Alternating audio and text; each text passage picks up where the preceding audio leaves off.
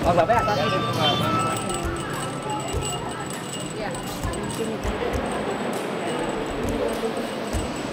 kami yang bernama Haji Muzalifah binti Haji Muhammad Nur Ahmad dengan mas kawin berlian segerakan program dan berupa uang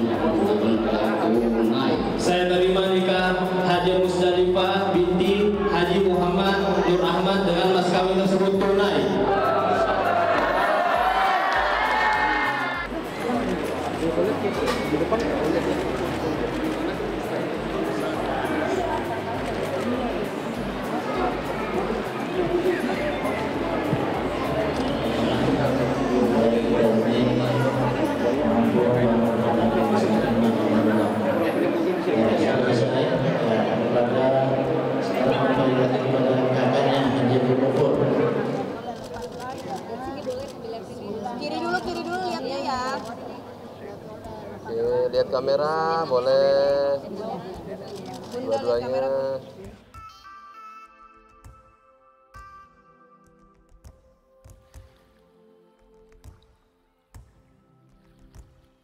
Oh ya alhamdulillah hari ini apa saya dan uh, Musdalifah udah melangsungkan akad pernikahan sah dan sakral.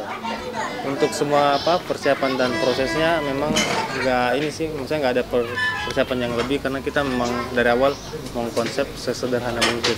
Iya, karena kan kebetulan saya orang dari timur Makassar Bugis gitu, jadi di combine dikit sama apa eh, Jawa gitu.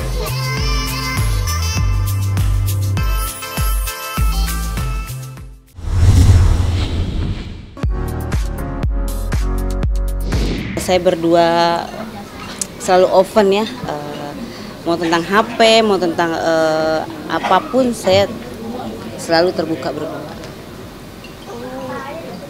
Handphone, sosial media, sosial media. Iya kan kan eh, HP itu kan eh, kan kita nggak tahu ya. Jadi eh, passwordnya saya dengan passwordnya suami ya sama. Jadi aku open dan Mas Fadil juga open. Eh, walaupun saya lebih tua tetap ya eh, saya kan istri. Istri mau bagaimanapun eh, tetap apa kata suami. Kalau saya mendidik suami itu salah nggak bisa nggak boleh ya. Karena walaupun saya lebih di bawah umur eh di bawah di atas umur tetap saya saya makmum ini imam saya.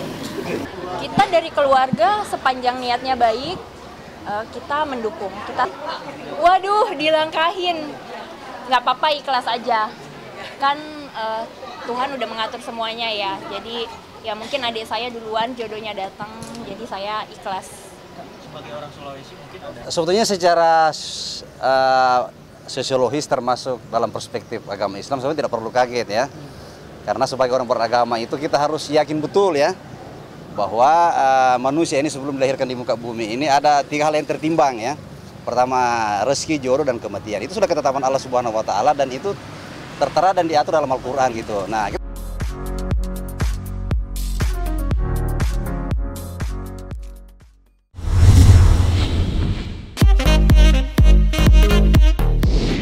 Eh, aku belum tahu. Itu udah ada rencana belum? ada rencananya nggak katanya mau eh, merayakan di kampung halaman sebenarnya bukan merayakan sih tapi lebih ke kayak syukuran aja gitu syukuran apa eh, teman-teman saya keluarga saya juga yang di Makassar pengen ketemu sama Mas Dalifa pengen kenalan gitu. Jadi nggak adil sih kalau cuman di suatu daerah kan harus dua daerah biar adil.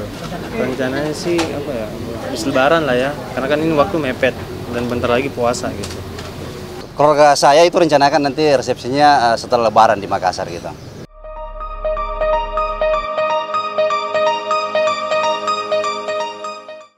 Jadi jangan lupa untuk subscribe Cumi Cumi. Ditekan ya tombol lonceng merahnya.